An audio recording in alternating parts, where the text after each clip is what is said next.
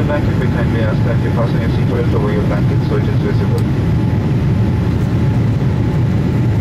We invite you to browse through extravaganza or in-flight duty-free telephone which is in your seat pocket.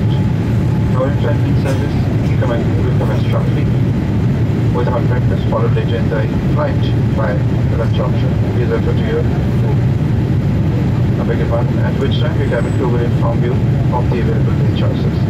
If there is anything we can do to make your flight more comfortable, please feel free to let us know. Thank you.